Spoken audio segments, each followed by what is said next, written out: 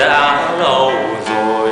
Tôi sống kiếp sinh viên sinh viên tiền không có.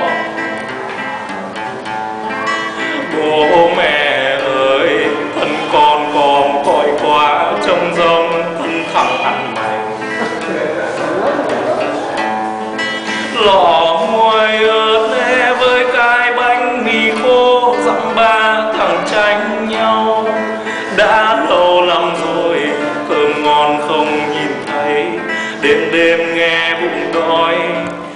mai qua đi thôi, tiền tiêu hết mặt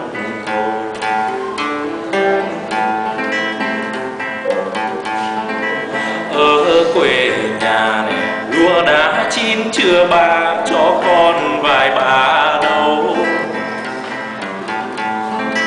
Nói vậy thôi, quê hương nghèo thất bát suốt quanh năm không cánh hồ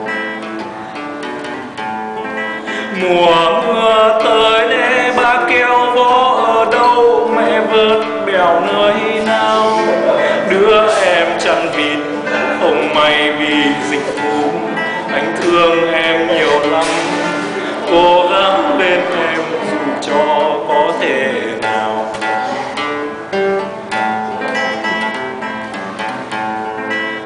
Này mới đau à? đã lâu rồi đến lớp không vui không vui vì em đó. Đã bỏ anh đi theo thằng giám đốc có ô tô và lòng tiền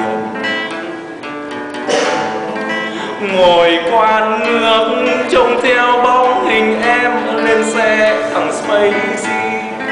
Rú ga điên cuồng bằng qua trường kinh tế, ai ai thấy chúa xót cho anh bị cái kiếp.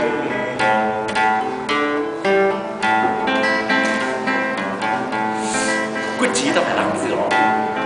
Đã thế rồi, anh quyết chí vươn lên lấy tâm bằng loại khác. Thế và anh được vào một nhà máy với chức danh thằng bảo.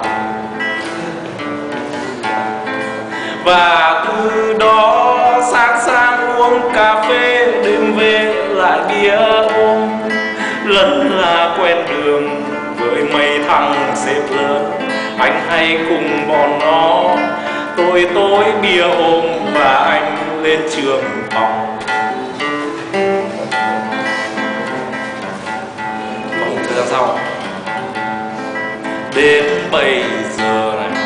Khác lắm em ơi đô la tiền trong túi. Bỗng gặp em em nay giờ sơ xác đứng bên hồng đường quốc lộ. Và chào em nhé, anh thân ái chào em, vô em thời sinh viên. Nó bỏ em rồi, anh đây cũng không cần nữa anh đây có người khác em hãy đi đi tình ta thế để